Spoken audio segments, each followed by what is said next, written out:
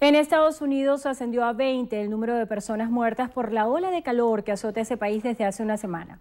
Se prevé que las altas temperaturas superen los 43 grados en Minneapolis, Chicago, Kansas y San Luis.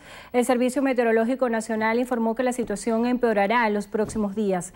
Mientras tanto, más de un millón de personas continúan sin suministro eléctrico en 11 estados de ese país por el paso de una tormenta desde el pasado viernes.